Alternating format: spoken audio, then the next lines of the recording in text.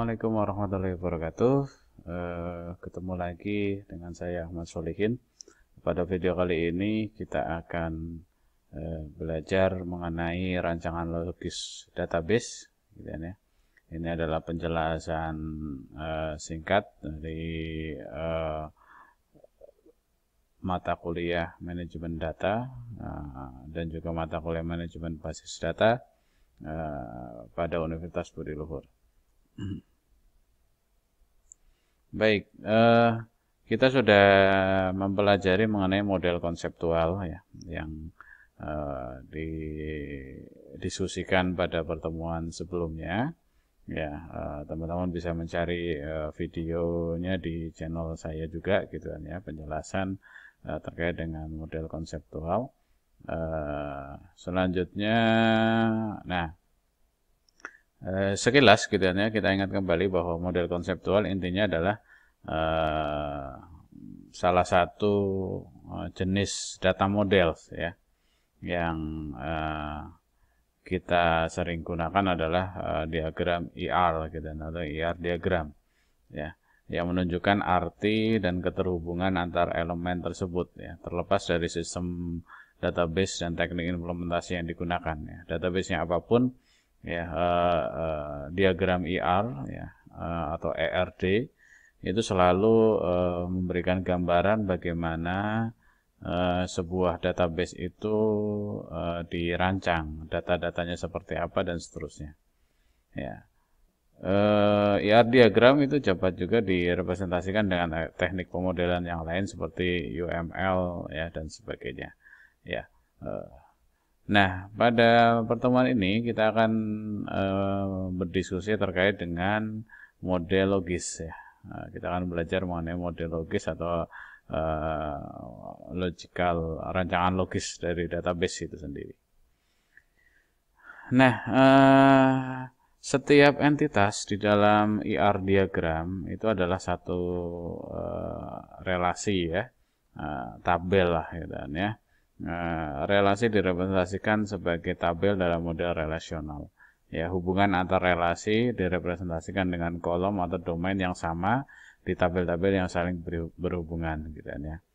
E, kita contoh gitu kan ya. Misalnya entitas e, customer gitu kan ya. Ini adalah entitas yang umumnya kita temui gitu entitas biasa ya di mana customer itu terdiri dari tiga buah uh, atribut ya. Uh, boleh disebut atribut boleh disebut juga field atau kolom gitu kan ya. Uh, atau properti gitu kan ya. Uh, itu tergantung dari penggambar uh, dari uh, kita maunya uh, mau seperti apa gitu kan ya penyebutannya kalau yang uh, terbiasa dengan object oriented ini biasa disebut sebagai uh, properti gitu kan ya. Nah bebas saja gitu kan ya Oke, jadi customer itu memiliki tiga buah field, ya, customer ID, customer name, customer address ya. E, di customer ID ini adalah primary key, ditandai dengan garis e, bawah di sana. Ya, e, ini juga bebas saja penggambarannya. Yang penting ada satu field yang memang e, ditunjuk sebagai key atau sebagai primary key.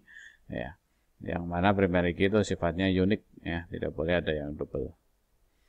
Nah, eh, kadang kita juga menemui atribut-atribut yang komposit, atribut yang merupakan gabungan dari eh, atribut-atribut eh, yang lain.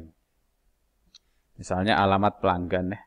Alamat pelanggan ini bisa jadi di dalamnya terdiri dari oh ada jalan, ada kotaknya, ada state-nya, ada zip code-nya dan sebagainya gitu kan ya. Nah, eh, penggabungan ini di beberapa database itu atribut komposit itu ada yang me, eh, ya menyediakan fiturnya. Jadi kita bisa menyimpan atribut komposit. Eh, namun kalau yang tidak menyediakan fiturnya ya kita bisa ini kita bisa jadi satu field tersendiri ya. Jadi fieldnya setiap item ini dijadikan field terpisah. Kalau mau tahu customer address bagaimana ya tinggal di concat atau digabungkan ya antara masing-masing field tersebut. Ya. Itu uh, atribut komposit. Nah, selanjutnya atribut multi nilai ya. Kadang kita juga menemui atribut uh, yang nilainya bisa jadi banyak gitu kan ya. Uh, contoh di sini ada skill ya. Skill ini ya sebenarnya ini adalah atribut dari employee gitu kan ya. Namun demikian kadang skill ini kan isinya banyak ya. Uh, skill, hobi gitu kan ya. Isinya memungkinkan bisa banyak gitu kan ya. Tapi uh, sederhana gitu kan hanya berupa uh, satu kalimat atau satu teks tertentu gitu ya.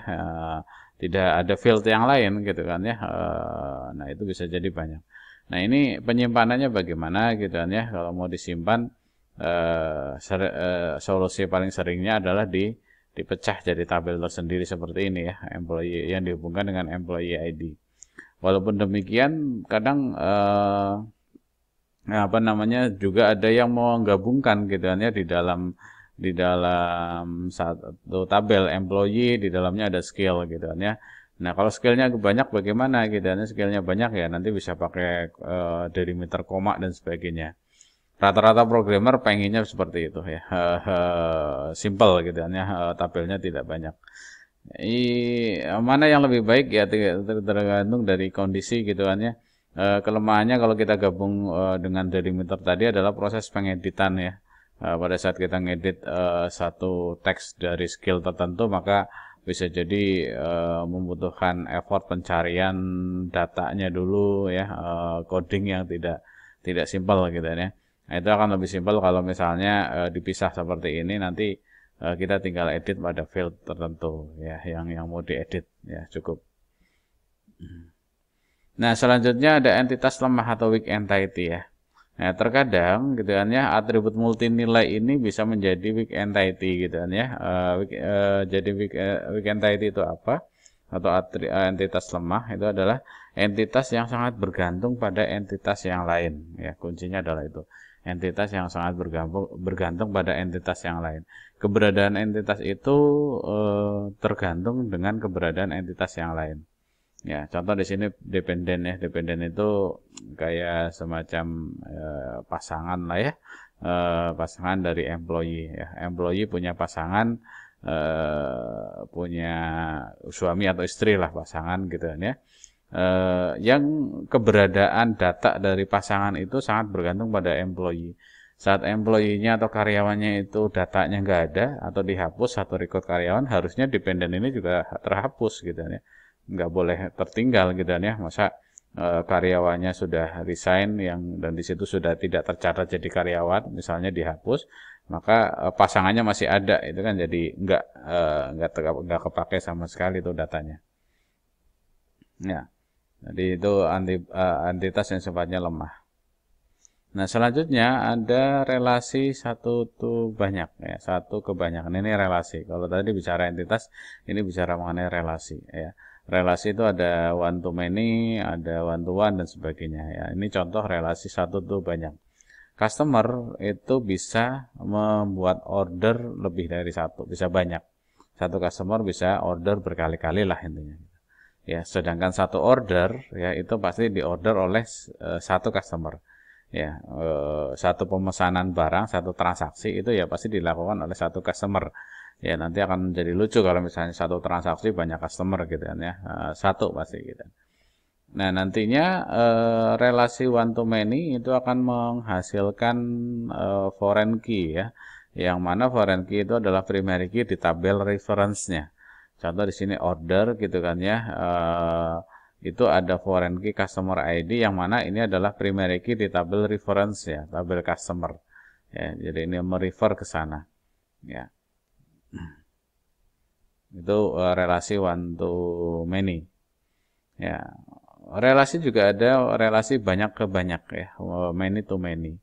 Ya contoh di sini ada raw materials raw material sama vendor ya barang lah gitu kan ya Uh, barang itu gitu ya uh, yang mensuplai itu kan vendornya bisa jadi banyak.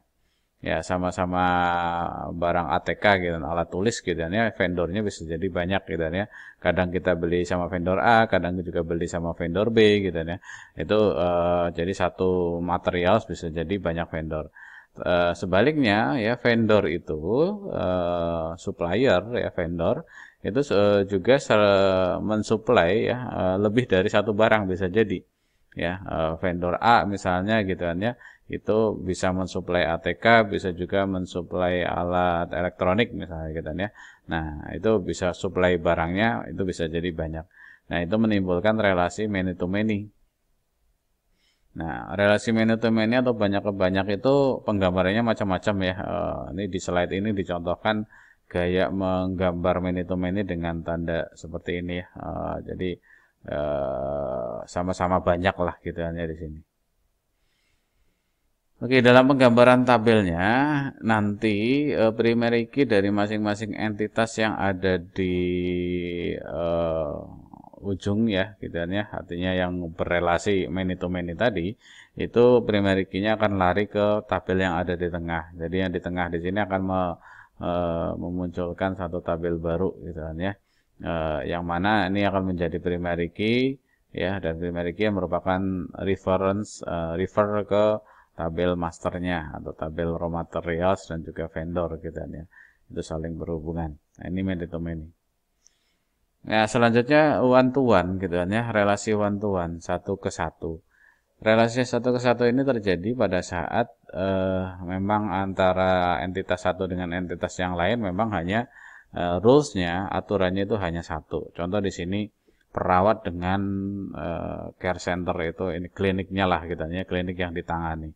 Ya misalnya katakanlah di satu uh, klinik ya poliklinik ya ada perawat di masing-masing uh, poli gitu kan ya nah hanya satu gitu kan ya. Nah ini sekali lagi balik lagi tergantung dari rulesnya. Kalau uh, ada dua ya tentu sudah tidak jadi one to one gitu kan ya. Ini kebetulan incasnya itu cuma satu. Nah, jadi perawat itu incas di dalam care centernya uh, satu gitu kan ya. Demikian juga care center itu ditangani oleh satu perawat gitu ya. Ini akan menimbulkan e, relasi satu ke satu. Nah, e, relasi satu ke satu itu primary key dari entitas yang mana yang akan lari atau yang akan menjadi foreign key dari entitas yang lain bebas. Ya bebas aja gitu ya. Mau care center primary key-nya nanti akan ada di tabel nurse ya atau sebaliknya eh, primary key dari nurse di sini ada nurse ID itu akan masuk ke tabel care center ya kalau dalam kasus ini jadi uh, nurse ID gitu ya perawat ID itu masuk ke tabel uh, care center gitu kan ya. Nah uh, best practice-nya gitu kan ya yang sering saya lakukan kalau one kayak gini gitu kan ya lihat data yang yang relatif eh, relatif tidak banyak berubah gitu kan ya. Relatif tidak banyak berubah ya. Nah antara care center sama nurse ini sebenarnya kalau menurut saya eh, yang lebih banyak terjadi perubahan data eh, bertambah atau datanya bisa jadi secara volume lebih banyak itu adalah nurse atau perawat ya. Perawat ini kan bisa jadi nanti nambah, kurang gitu dan ada yang resign dan sebagainya gitu ya. Sedangkan care center itu kan relatif tetap, tetap ya.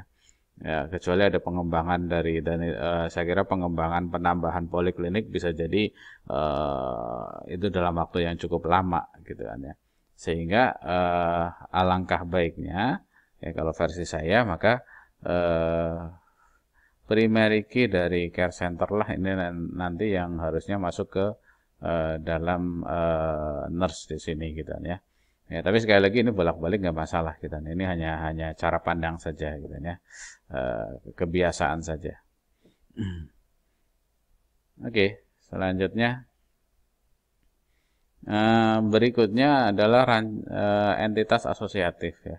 Satu entitas itu juga sering kali uh, menjadi entitas asosiatif ya di mana entitas itu hampir mirip seperti many to many gitu kan ya tapi uh, itu men, lebih meningkat lagi menjadi uh, entitas ya yang merupakan gabungan dari uh, dua entitas yang lain misalnya di sini order line itu gabungan antara order dengan produk ini uh, kalau saya lihat sih mirip seperti many to many antara order dengan produk gitu ya nah, satu buah pemesanan pasti ada banyak produk dan satu produk uh, bisa jadi ada di banyak pemesanan gitu ya. Namun demikian sering kali entitas asosiatif ini ini dianggap sebagai entitas asosiatif gitu ya. Di mana order line itu kan objek juga gitu nah gitu ya. Jadi uh, dia uh, seolah-olah menjadi entitas. Ya. uh, berkembang lagi kadang uh, ada kasus yang uh, menambahkan ID gitu kan ya di dalam entitas yang asosiatif tadi gitu kan ya. Misalnya uh, customer dengan shipment number sama vendor gitu kan ya. Ini sebenarnya kan many to many gitu kan ya antara customer dengan vendor gitu kan ya. Uh, nah di dalam shipment ini ditambahkan satu uh, primary key lagi ya shipment number gitu kan ya Nah, padahal harusnya kan uh, primary key dari vendor, primary dari customer itu masuk ke sini. Ini akan jadi primary key-nya dia, ya. Tapi ini malah justru akan menjadi foreign key di situ gitu kan ya. Foreign key uh, dari uh, shipment gitu kan ya. Nah, ini uh, ditambahkan ID. Demikian juga ini sebenarnya gitu kan ya. Ada juga yang menambahkan order line ini dengan dengan satu ID tertentu gitu ya, uh, terpisah. Uh, ini ser pernah saya lakukan itu kalau gini kalau kalau kondisinya uh, tabel yang berhubungan yang membentuk entitas asosiatif itu terlalu banyak ya. Uh, contoh lah misalnya gitu kan ya uh, dalam sistem akademik gitu ya katakanlah masih uh, jadwal Jadwal itu kan e, kalau kita lihat sebagai entitas atau sebagai objek bisa gitu ya itu adalah entitas gitu ya. Namun jadwal itu pasti merupakan entitas asosiatif dari berbagai macam e, entitas yang lain yang lebih kuat gitu ya. Misalnya jadwal itu terbentuk karena adanya dosen, karena adanya mata kuliah, karena adanya mahasiswa. Minimal tiga itu gitu ya. Belum lagi dia terkait dengan ruangan, terkait dengan uh, ruangan terus kemudian terkait dengan hari dan sebagainya lah gitu kan. Ada banyak hal gitu kan ya. Nah uh, minimal tiga lah dosen uh, mata kuliah sama mahasiswa. Nah kalau misalnya normalnya gitu kan ya maka uh, seluruh primary key dari mata kuliah kemudian dosen dan mahasiswa ya itu akan masuk semua ke dalam jadwal menjadi field primary key di situ gitu kan ya. Ya, menjadi key dari uh, entitas jadwal. Ya, namun dengan banyaknya entitas yang uh, terhubung dengan jadwal, maka primary key-nya jadi banyak. Nah, dengan banyaknya primary itu kadang pada sisi implementasi programmingnya agak sulit gitu kan ya. Proses pengeditan itu juga repot. Ya, ngedit kan butuh eh, butuh tiga minimal tiga field tadi gitu kan ya dan seterusnya. Jadi banyak uh, banyak kesulitan lah dari sisi implementasi. Maka saya sering menambahkan ID. Jadi ada ID jadwal. Ya. ID jadwal gunanya buat apa ya tadi kita mempermudah dari sisi implementasi di coding saja gitu kan ya Uh, sama seperti ini sebenarnya jadi entitas asosiatif ber-ID ya kurang lebih seperti itu gitu kan ya. Uh, enaknya pada saat kita mau misalnya katakanlah membuat tabel jadwal kalau diklik nanti akan tampil uh, detailnya misalnya. Misalnya maka yang kita butuhkan cuma ID tadi gitu ya maka akan ketemu uh, ya field atau informasi jadwal itu uh, dengan tepat gitu ya tanpa perlu uh, melis uh, semua primary key. Ya itu ini aja apa namanya sharing aja. Lalu ada juga relasi yang sifatnya unary. Ya, relasi unary ini adalah relasi yang uh, merupakan relasi antara satu entitas dengan entitas itu sendiri. Misalnya employee. Employee ini ya uh, Beberapa employee tentu ditunjuk sebagai manager atau supervisor dari employee yang lain. Sama-sama employee yang mana employee itu punya name, punya tanggal lahir dan punya data-data dasar yang lain, itu sering kali bisa memanage yang lain. Nah, jadi nanti akan ada uh, foreign key dari tabel itu sendiri ya. Tabelnya cuma satu, employee ID, name, birth date, kemudian manager ID. Nah, manager ID-nya siapa? Ya, ini karyawan juga kan gitu ya. Nanti manajernya juga nanti akan ada manajer yang lebih atasnya. Hanya satu yang tidak punya manajer ID, yaitu pemilik perusahaan atau pimpinan tertinggi gitu ya. Itu kan tidak punya manajer ID. Nah, ya, ini namanya entitas yang sifatnya unary. Nah, kadang juga uh, kita ketemu uh, entitas unary yang many to many. Kalau tadi kan one to many ya, satu satu karyawan bisa memanage banyak karyawan yang lain gitu kan ya. Nah, tapi karyawan dimanage oleh satu pimpinan, umumnya seperti itu. Walaupun saya pernah ketemu di satu perusahaan yang satu karyawan uh, pimpinannya bisa jadi banyak. Nah, itu uh, relasinya sudah bukan one to many lagi, tapi many to many. Uh, contoh relasi many to many yang unary itu adalah item barang. Nah, misalnya item barang komputer, kita bisa anggap komputer itu sebagai item secara paket uh, jadi satu kesatuan. Tapi kita juga tahu di dalam komputer itu ada komponen-komponen yang bisa terpisahkan gitu ya. Bisa terpisahkan. Misalnya RAM-nya gitu dan RAM-nya kan kita harus data juga gitu ya. RAM-nya itu ada di dalam komputer. Nah, RAM-nya bisa jadi banyak gitu. Jadi satu komputer bisa berisi banyak RAM.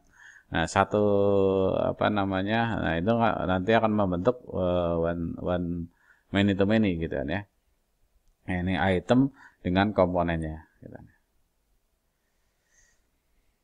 Oke, ternary wah ternyata ada yang ternary ya. Uh, sebenarnya tadi sudah disinggung ya, ternary salah satunya adalah tadi ya jadwal itu uh, bisa ternary bahkan bisa bisa lebih dari itu gitu kan ya. Ini treatment ya, pasien treatment itu uh, re, merupakan gabungan asosiatif dari treatment pasien, physician dan sebagainya. Ya, saya kira ini silahkan dipelajari lebih lanjut.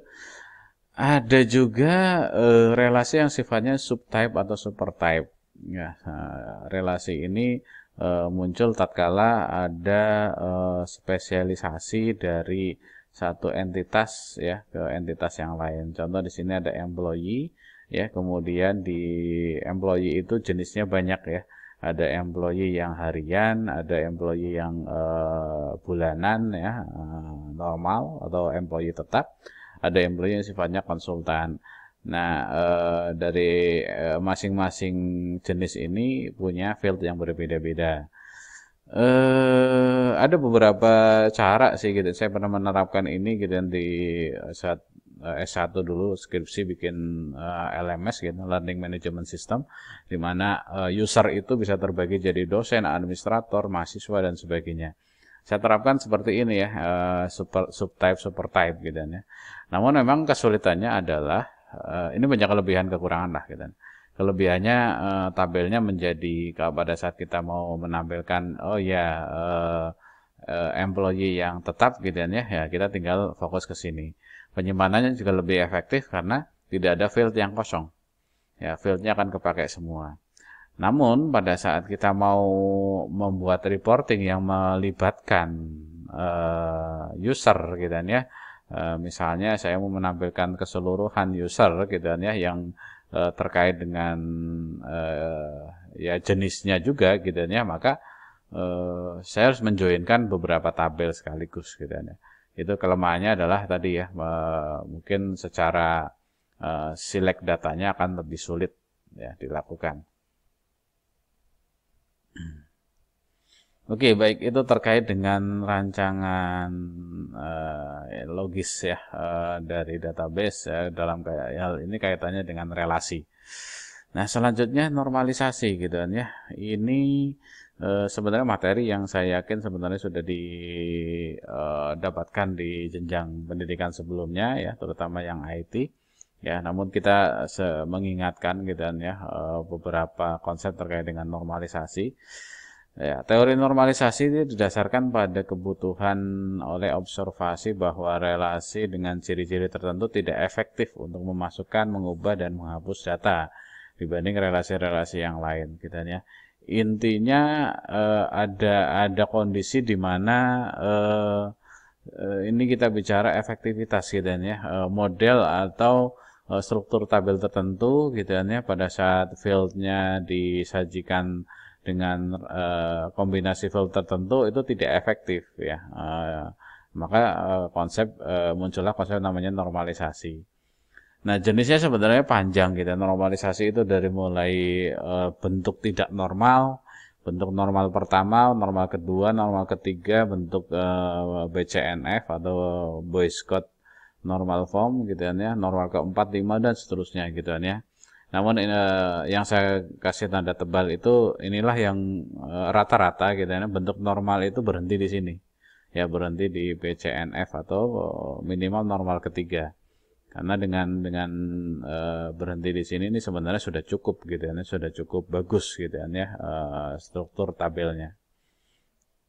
Oke, ini uh, rangkuman dari uh, ininya ciri-ciri uh, ya uh, atau syarat dari dari masing-masing bentuk normal gitu. Nah, misalnya satu NF itu dependensi fungsional atribut non key-nya dengan nilai atomis terhadap key primer gitu. Jadi ada dependensinya. Kemudian uh, di second NF itu masih terjadi dependensi fungsional penuh atribut uh, non key kepada key primer dan seterusnya. Uh, kita ke contoh aja. Oh ya, sebelum ke contoh Uh, normalisasi itu dilakukan untuk menghindari uh, anomali sebenarnya gitu ya. Anomali proses uh, insert, anomali proses delete maupun anomali proses hapus. Ya, jadi uh, menghindari anomali ini gitu. Anomali dan juga duplikasi data gitu ya. Ya, anomali proses insert uh, itu merupakan atribut-atribut atau field uh, yang yang mana atribut itu harus konsisten gitu pada saat proses insert gitu hanya tidak boleh ada uh, mungkin uh, proses insert yang nanti akan mempengaruhi data yang sudah ada gitu ya. Atau proses insert yang menimbulkan uh, data yang katakanlah double gitu ya. Itu juga tidak boleh. Anomali pengubahan record gitu ya. Pada saat kita mengubah satu record ya harusnya yang kita tuju itulah yang yang diubah.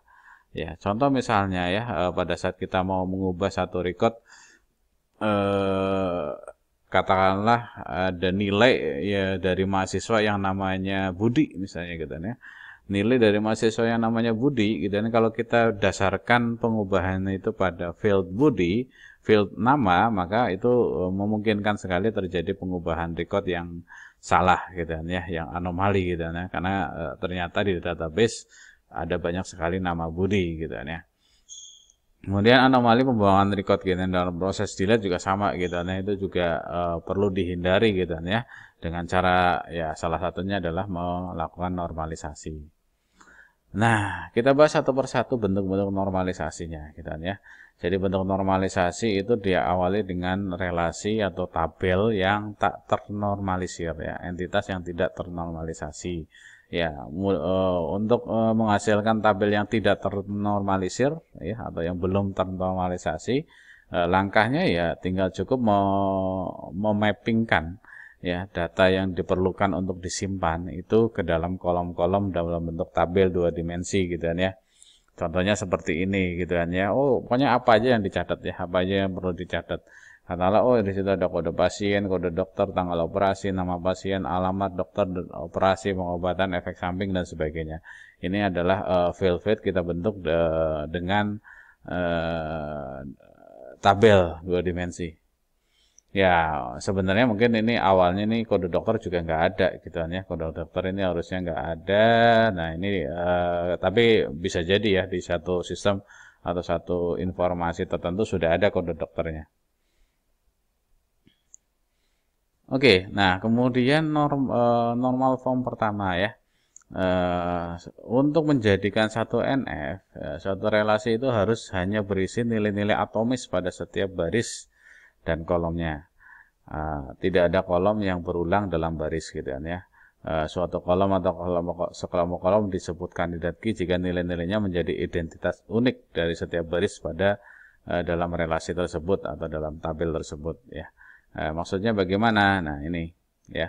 Eh, bentuk normal pertama itu eh, kita identifikasi field-field yang sifatnya bergantung dengan field yang lain. Ya, kemudian kita kelompokkan ya berdasarkan tadi ya nilai atomisnya tadi.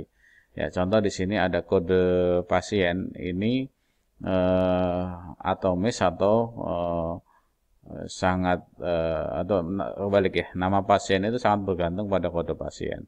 Alamat pasien bergantung pada uh, pada kode pasien. Nah ini ini nilai-nilai yang uh, atomis dikelompokkan. Ya dokter ya ada nama dokter ya kemudian uh, secara bersama-sama uh, kode pasien dengan uh, kode dokter atau na nanti uh, kode dokter ini salah ya. Ini harusnya kedua ke di sini ya ada di sini. Kemudian ini uh, juga tergantung dan seterusnya. Ya. Itu bentuk normal pertama ya. Hasil nah Selanjutnya uh, kita pisahkan tuh ya setelah diidentifikasi uh, field-field yang sifatnya atomis tadi. Ya, selanjutnya suatu relasi memenuhi 2NF jika atribut non-key-nya memiliki dependensi fungsional penuh terhadap key primary key. Ya, setiap atribut non-key membutuhkan key primer secara lengkap bukan sebagian sebagai identitas uniknya. Nah, berikutnya adalah dipisah tuh bentuk normal kedua nanti tabelnya ada kode uh, pasien. Nah, dari pasien ini nanti ada kode pasien, nama pasien, alamat pasien ya tidak boleh ada eh, data-data yang double double nanti kita uh, harus dihilangkan dokter ini juga ada nama dokter kemudian nanti operasi. Nah ini uh, tabelnya adalah nama nama operasi. Kode pasien kode dokter tanggal operasi ini uh, dependensi dengan operasi pengobatan dan efek samping. Ya ini akan jadi ini merupakan key-nya. Kenapa cuma nggak cukup kode dokter dan kode pasien? Ya karena bisa jadi satu pasien itu dengan dokter itu e, ketemu beberapa kali ada beberapa data dengan dokter dan pasien yang sama. Bisa jadi contoh nih. Contoh di e, kode pasien 6845 dengan kode dokter 243 ini kan ada dua record ya. Kalau ini hanya ini yang dijadikan primary key maka e, nanti ini e, akan bentrok gitu kan ya. Dan dianggap data yang sama. Padahal keduanya ini dua, uh, dua treatment yang berbeda ya. Di sini uh, tanggal operasi 15 Desember, yang ini uh, 5 April 94 dan seterusnya. Ini berbeda dua, dua situasi, dua transaksi yang berbeda. Nah, selanjutnya bentuk normal ketiga. Ya, bentuk 3NF itu e, memenuhi memenuhi 3NF jika tidak ada fungsional dependensi transitif antar atribut-atribut yang non key. Ya, kalau tadi antar primary key ya. Nah, sekarang e, eh, non key gitu kan ya.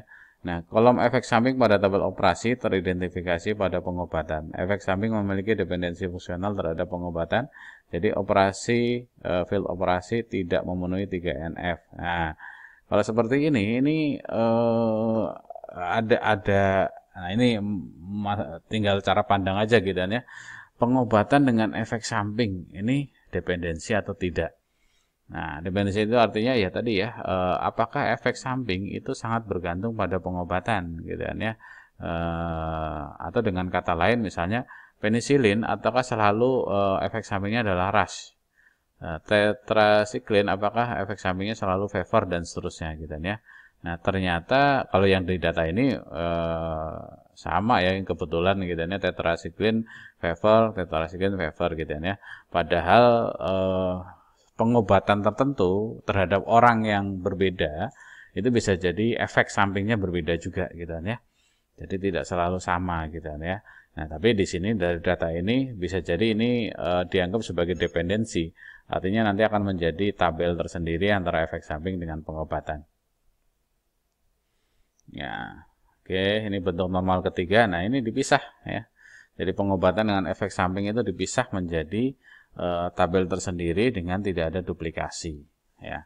Karena kalau yang di sini terlihat masih ada duplikasi ya. Ada no, ada non non ini non tetrasiklin favor tetrasiklin favor ini kan duplikasi ya. Syaratnya kan e, meminimasi duplikasi tadi.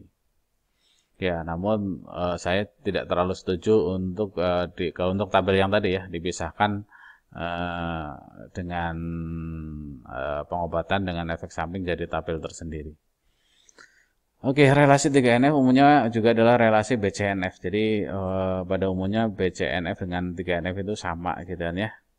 Ya, relasi 3NF eh, tidak memenuhi BCNF jika kandidat key dalam relasi adalah key gabungan. Jadi kalau multi atribut itu eh, itu bukan BCNF dan seterusnya.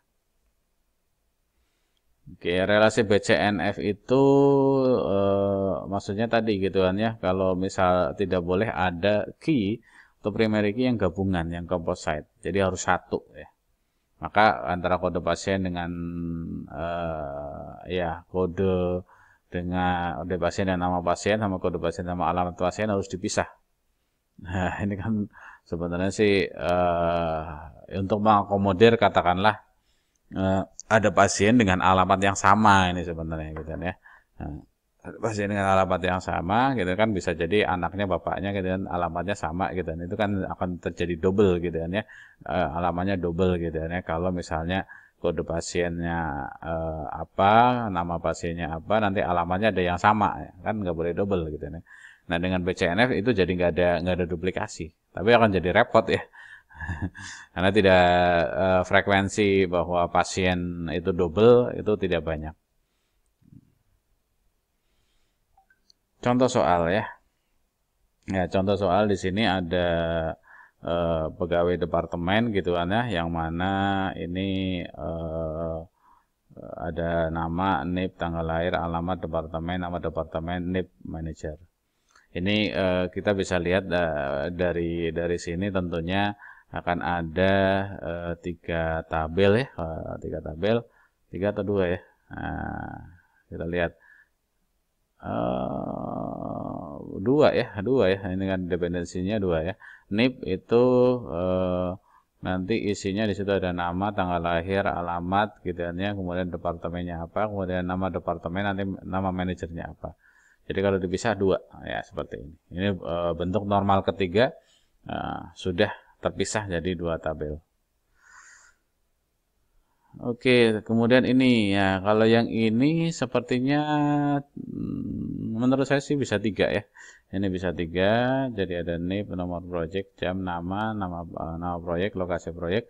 Jadi nanti ini uh, NIP dengan nama jadi satu, kemudian nanti nomor proyek dengan nama proyek sama lokasi proyek jadi satu, kemudian nanti gabungan ada NIP, uh, kemudian nomor proyek, jamnya berapa ya. Nah, itu bisa uh, jadi tiga sepertinya.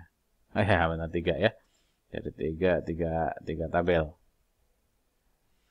Nah ini latihan silahkan kalau misalnya teman-teman mau uh, uh, mencoba gitu ya. Ini ini reporting gitu ini laporan gitu nah ini kira-kira uh, kalau dinormalisasi tabelnya jadi berapa tabel nih gitu ya. Nah silahkan.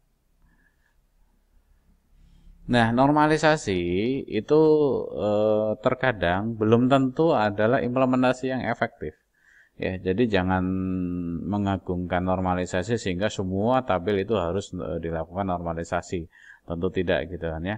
Balik lagi ke nanti ke arah implementasinya gitu kan ya dan tujuan pengembangan satu eh, database itu sendiri gitu kan ya kadang dibutuhkan denormalisasi untuk apa? Untuk untuk uh, efektivitas atau efisiensi proses pemrosesan query.